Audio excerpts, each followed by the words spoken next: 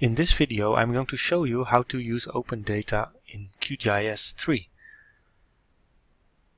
This video continues where we ended in another video on stream and catchment delineation.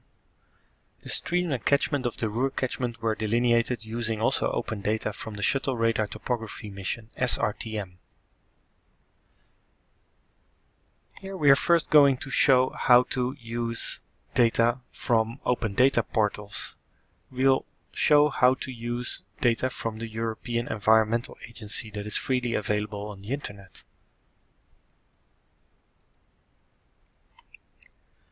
On the DiscoMap website from the EEA we can get for example data on land use but also on many other themes as you can see. If I click on land I see all the land use data sets that are available. I'm going to show you how to use the data on land cover from the CORINE dataset. Most recent one is from 2012 and here we see some metadata which explains the data set and if I click on the figure here on the left we go to an online map viewer. And we can see the legend switch on and off different layers. But we are more interested to use this directly into a GIS as a backdrop to use with other layers that we have. So if we click right on WMS we can copy the location of this link which we can use in QGIS. So I'm going to the data source manager and there under WMS I can add a new one EEA land and I paste the URL here. It will be automatically corrected by QGIS because the URL here should end with the WMS server. But uh, we shouldn't worry about it. We do OK. And then I can connect to the server and here I see the same data as we have seen online. And I click here on PNG, so the data layers that we will download will have transparency for no data. So that is useful if we want to see other data uh, on the place of no data pixels. And we check here the box to use contextual WMS legend, so we always have the legend also in our layers panel. So let's first add the wetlands to the dataset. Here we see that there are wetlands upstream of our catchment. Here are the different subcategories in the legend. In the same way we can add also other classes like the water bodies. Here they are. Let's also add the forests artificial surfaces and agricultural areas. Here they are. And I can put the Ruhr catchment boundary on top so we can still recognize it here. It's nice to use this as a backdrop, but what we really want is to use open data for analysis and we cannot do it uh, with WMS. WMS is a open standard for transferring pictures that are generated on the server from the map data, but it's not the real raster or vector data that we can use in further analysis. In the next steps I'm going to show you how to use that.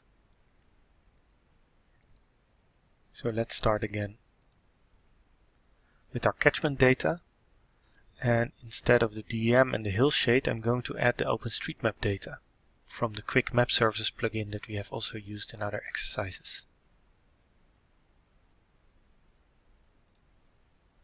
There it is and the biggest difference with Google is that all these elements that we see here on the online map are also available as points, lines and polygons that we can download to QGIS.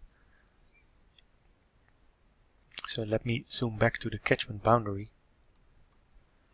And most important thing is if we build a catchment map is that we also have our hydrography. Now we can download a plugin to download the Quick OSM plugin. Quick OSM is a plugin that uses the Overpass API to download OpenStreetMap data. We can find it in the menu, in the vector menu, there we have Quick OSM. And it uses keys and values. If you want to know what the keys and values are, and that's how the data in OpenStreetMap is structured, we go to help with key value and here we find all the definitions they use including example pictures and the style on the map.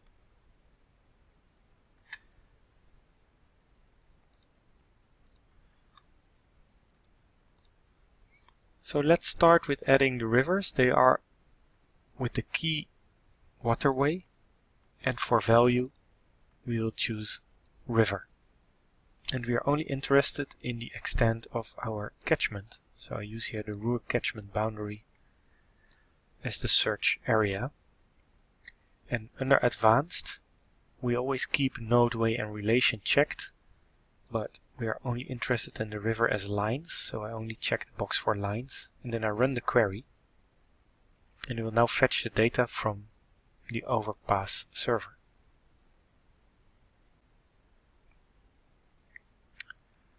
And when it's done we can find the rivers here on the map.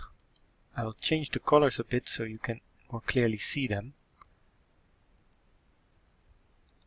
Simple blue line and there it is.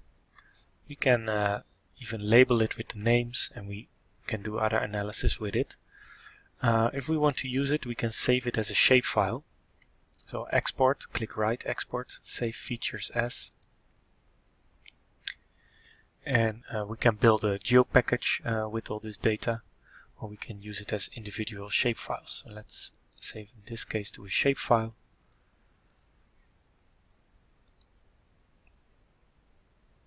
make a new folder, open data, and I save this one as rivers. And we change the projection to the one of the project. There it is. And we do OK. Now it's a shapefile, but it is too large, it covers more. So we're going to clip it. So here under vector, I go to geoprocessing tools clip and here I choose as an input layer the rivers, as a clip layer the Ruhr catchment and then I save it to a file.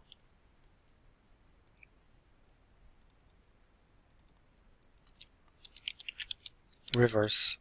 Ruhr. Save. And I run it in the background. And now it's clipped. I can remove this one. I can copy the style of this one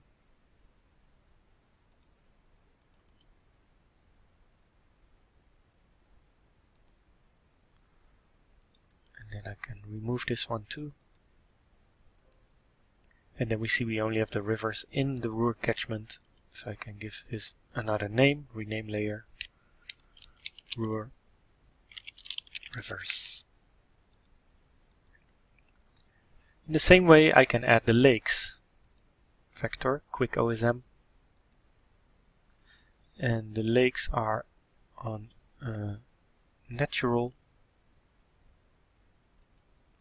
and then the value water. and the lakes are polygons so we only check the polygons and then we run the query.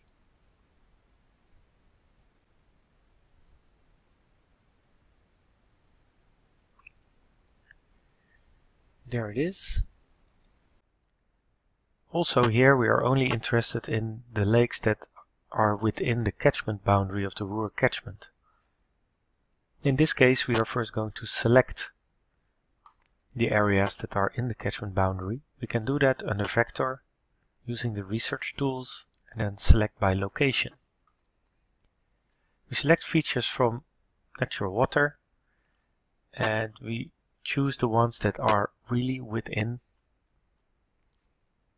the Ruhr catchment boundary. We can see that these layers have different projections but uh, QGIS3 can take care of that. So when I run it, it's quite quick. Click close. And I see now in yellow highlighted all the lakes that are within the catchment boundary. So what I can do now is click right, export, save selected features as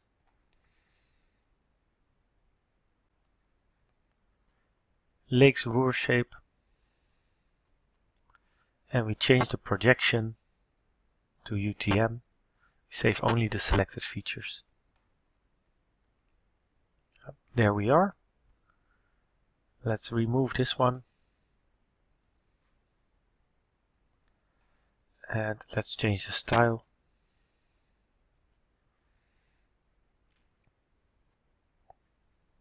And now we have the lakes and the rivers from OpenStreetMap. What would also be nice to have is where the dams are located. So let's use again the quick OSM.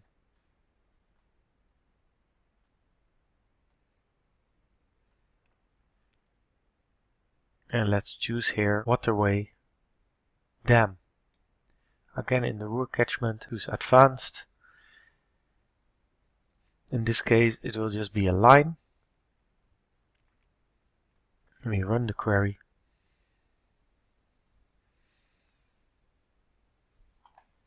And there we have the dams. Let's uh, style them first.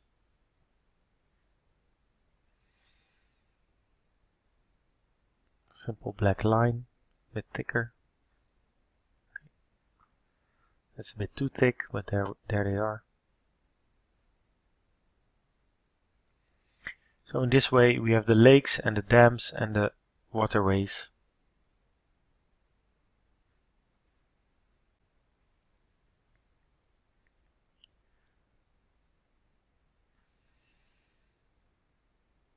Also here we can clip it to only the catchment. We go to the vector menu, choose geoprocessing tools, clip, and we choose the dam and the Ruhr catchment, give it an output name.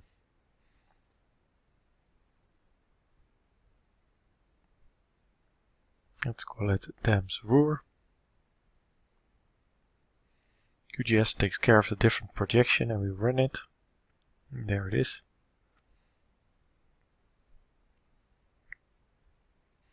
Let's copy the style from the original.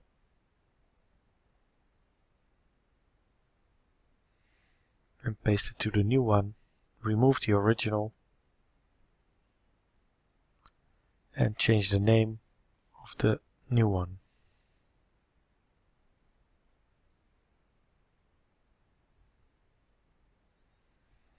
And this is our result map.